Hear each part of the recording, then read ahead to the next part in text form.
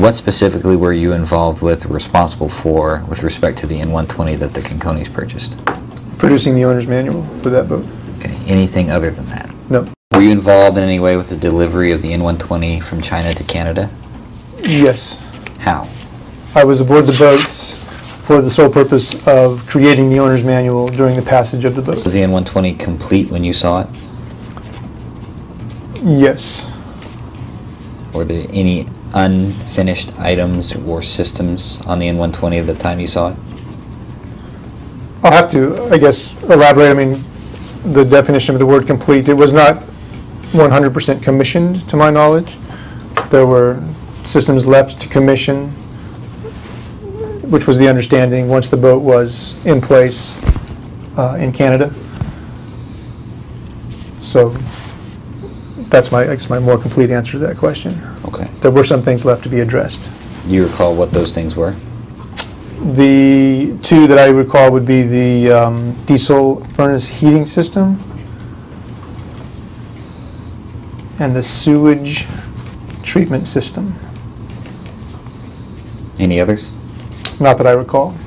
Did Trevor Smith ever talk to you about what was supposed to occur when the vessel arrived in Canada? No. Who talked to you about um, finishing the commissioning process in Canada? The, my understanding was based on brief conversations was that the systems, the two that I mentioned, and kind of just a general knowledge of, of how it's done with boats is the commissioning is finished when it's possible to do that. The, the items that were left unfinished could not be finished while the boat was in operation going across the ocean, so it was scheduled to be finished when it arrived in Canada. With respect to you writing the owner's manual for the N-120 during the voyage from Hong Kong to Canada, uh, what specifically did that entail?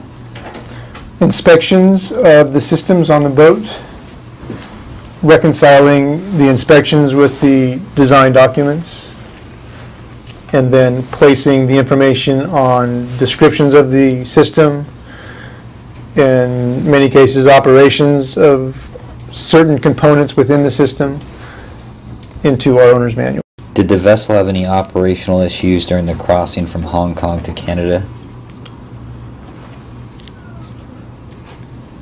Just one that I recall. And What was that? The fuel oil centrifuge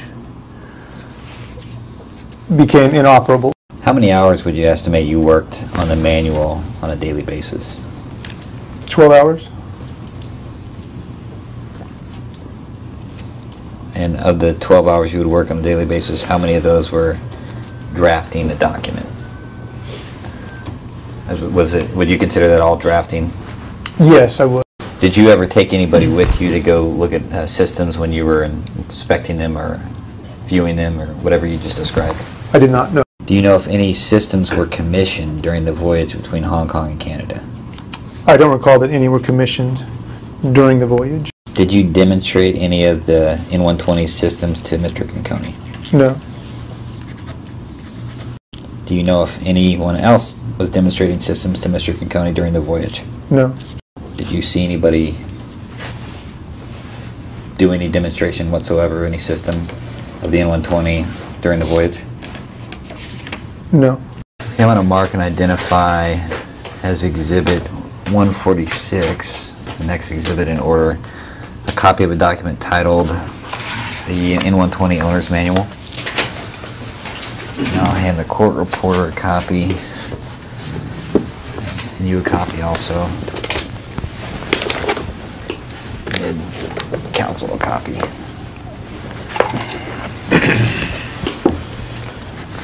The first question I have is, do you recognize Exhibit 146? Yes. What is it? The owner's manual for the N120. Okay, Does uh, Exhibit 146 appear to be a true and correct copy of the document you just identified? Yes.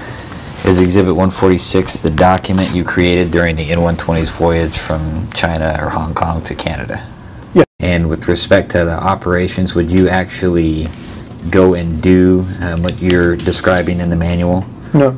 So, um, and back to the operational section of each individual section within the manual. So again, as an example, section 2.2's operational portion. Um, You didn't actually run through the steps that you created for the manual, is that correct? It, within the system, is what I'm asking. Physically go and manipulate everything that I described doing? Correct. No. Um, Okay, does that apply to each of the systems that are listed within Exhibit 146? Yes.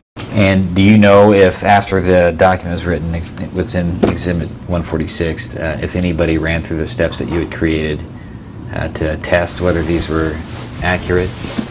No. Okay, but again, nobody actually, you- you're not aware of anybody who actually walked through him with the systems with Mr. Conconi, are you? No.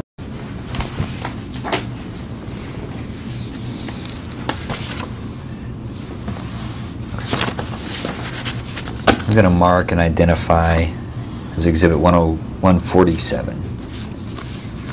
A copy of an email from Trevor Smith dated January 13, 2014, just Bates numbered PAE 010290 to 01292. And I'll ask you to review it, and my first question will be, do you recognize Exhibit 147? I have a, um, I do remember this email, Okay. yes. And what is Exhibit 147? An email, an email about the operation of the lube oil transfer pumps and fuel oil transfer pumps. Okay.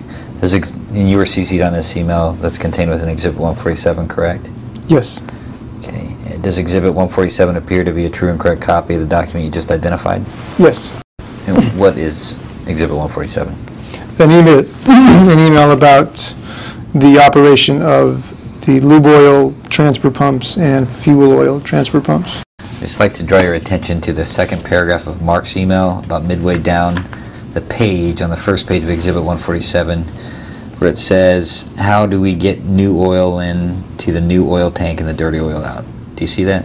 Yes, Um, did, do you know if anybody demonstrated how to do that to Mr. Conconi? no, Okay. Was this within the owner's manual that's contained within Exhibit well, 146? to the best of my knowledge, yes. Okay. Did you, at any point, did, it, it appears that Trevor Smith has uh, replied in the red portion of the exhibit. Do you see that? Yes, And and is that correct as far as your understanding goes? That that's Trevor Smith replying in red? yes, Okay. Okay, so in, on that same paragraph, Trevor Smith writes, "If the owner's manual does not cover how to do this, we will add it to the manual." Do you see that? yes. Have we ever approached by anybody at PAE to add this portion to the owner's manual? Not to my recollection. Did any, did you review the owner's manual after you saw this email? I don't remember if I did, but I expect that I would have. Okay. Do you recall explaining how to do this to Mr. Conconi when you were developing the owner's manual? No, With respect to the systems that weren't commissioned that you've mentioned already uh, during the vessel's voyage from China to Canada, uh, do you know when those systems were commissioned? no, Do you know whether those systems were demonstrated to Mr. Conconi at any time? no.